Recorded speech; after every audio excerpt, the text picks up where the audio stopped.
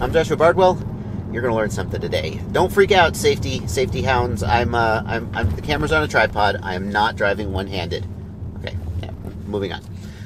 Uh, a few weeks ago, I released a video about truly unique flight controllers. Flight controllers that had something truly unique about them. And I said at the end of the video, if there's any that I overlooked, if there's anything I missed, leave it down in the comments. And I'll let you in on a little secret. That's a trick that YouTubers use because comments equals engagement. The likes and the dislikes, not actually as important as you think. Watch time and I, I, I've heard comments and engagement matter. So they really just want you to go down there and leave a comment. They don't really care what you said. Well, I care. I'm listening. there were a couple that you guys pointed out that I overlooked, and I want to throw uh, credit where credit's due. One of the truly unique flight controllers that I overlooked is the White Noise Synergy board. Basically, it is a flight controller with solder pads on top where you can mount your TBS Unify and your Crossfire or your FrSky receiver.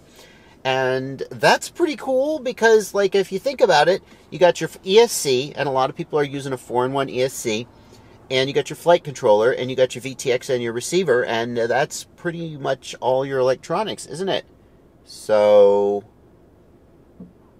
that would be basically all your electronics on a two high stack. The next one I got to shout out is truly unique. And I can't believe I overlooked this one. I did a video about this one. The know it all is not perfect. Just ask my wife, am I right? The next one I got to shout out is the Speedy Bee, the Speedy Bee flight controller. And the Speedy Bee flight controller is unique because it has a built in Bluetooth module that lets you use the Speedy Bee smartphone app to configure it without ever having to plug in USB. And that's great for field plugging or even using in the, I guess, could you even do it with your laptop? If you just connected with your laptop? I don't see why not, but I haven't confirmed that. So the SpeedyBee app gets a, a uh, shout out for being unique for having a Bluetooth adapter, although it's not going to be unique forever because I have it on good authority that the folks at SpeedyBee would like to, they'd like to just put that tech on all kinds of flight controllers. They just like to see that become a normal thing for a flight controller to have. So I suspect we'll see more flight controllers in the future with the Bluetooth on it. But uh, at, for the time being, I think SpeedyBee is the only one. And we got to give a little bit of a correction to uh, something I said. I shouted out the Lumenier Lux F7 Ultimate as one of the first flight controllers to have camera switching, dual camera switching, and it also has the ability to turn the VTX on and off, which I gave credit to the CL Racing F7 for.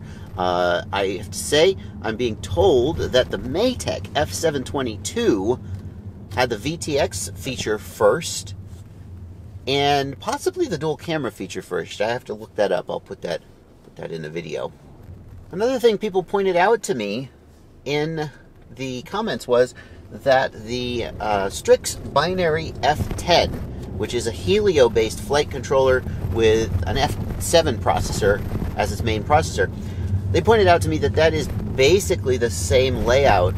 It's not the same pin layout, pad layout, but it's the same sort of target as a regular Helio board. Just you took the F4 off and you put an F7 on instead. And someone said in the comments, in fact, if you know how to do surface mount soldering, you could desolder the F4 from your Helio, you could put an F7 on there, flash the Strix F10 target, and have essentially the same board.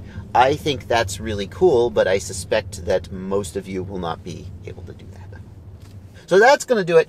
Few more uh, honorable mentions and things I overlooked. Thank you guys for pointing those out in the comment. My goal, as much as it might seem to you like my goal is to just look like the smartest guy in the room, that's a little bit my goal. My real goal is to give you guys useful, helpful information that helps you, uh, you know, enjoy the hobby more, make better buying decisions, that kind of thing. And so, however I can do that, whether I already know it all or whether I get the info from the comments, well, I don't care. Thank you guys so much for watching. I'm going to go, uh, I got into my destination. Actually, drove around the block once just so I could finish the video. Thank you guys for watching. Happy flying.